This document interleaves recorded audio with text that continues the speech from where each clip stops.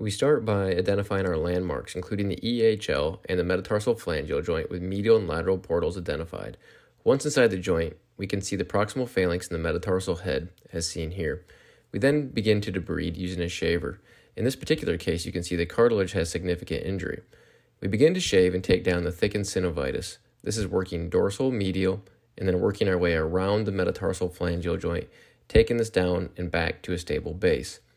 I oftentimes go back and forth between a shaver and a small electrical cautery to establish hemostasis as we continue to shave.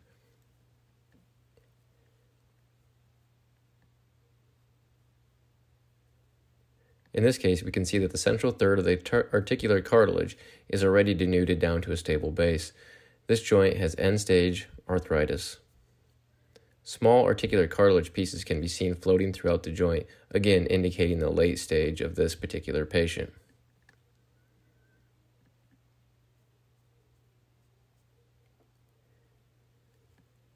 A small elevator can be used to elevate the tissue from the dorsal osteophyte. All right, so you get your elevator in there, and you can actually take your elevator and make sure that dorsal capsule is off of the dorsal uh, chyle, which will allow us to be able to debride this and take that bone spur down, and it adds to a level of safety on your MIS Dremel. Once the burr is inserted, I continually keep a visualization on it utilizing the dorsal medial viewing portal. As you can see here, we slowly work the burr over the top of the osteophyte.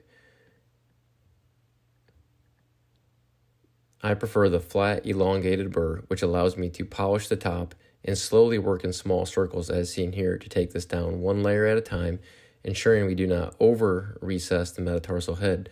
And again, utilizing the arthroscopy allows direct visualization and to make this a tapered debridement.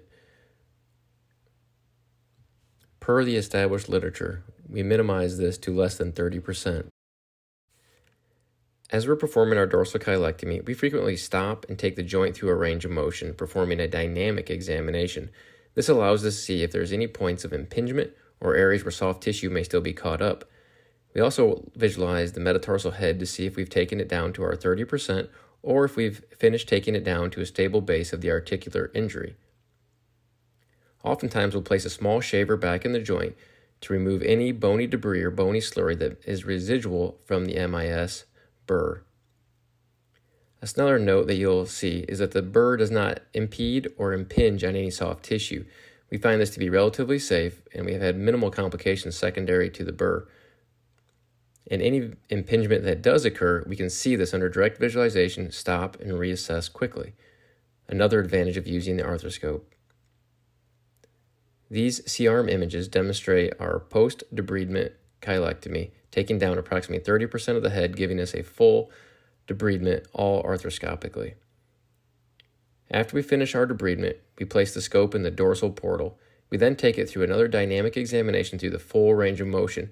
We evaluate for any areas of impingement or soft tissue we may have missed, and this gives us another opportunity to evaluate the joint and see if there's any areas for further improvement. We hope this video helps you in your practice. Thank you.